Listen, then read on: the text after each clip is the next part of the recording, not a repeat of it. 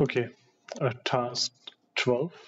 Write a function that sums up all integers between a and b.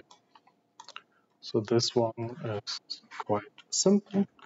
So first we need a list right, of numbers between a and b, for example 1 and 5.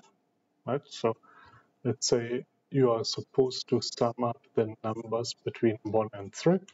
So you say 1 plus 2 plus 3.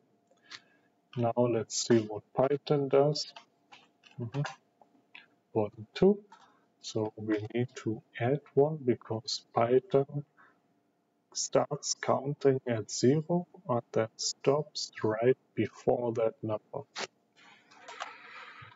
Okay, so 1, 2, 3, now with basically A and B plus 1 and then we need to sum and put everything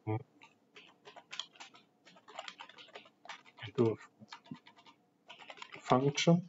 Let's call it sum interval, taking two arguments a and b, and we return the sum and make the boundaries of that interval flexible through the arguments a and b.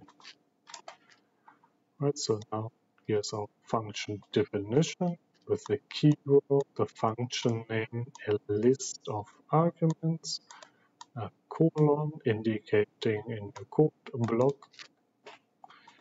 testing functions, so interval on 3, 6, right, 1 plus 2 is 3, plus 3 is 6, 1, 5, 6 plus 4 is 10, 10 plus 5 is 15.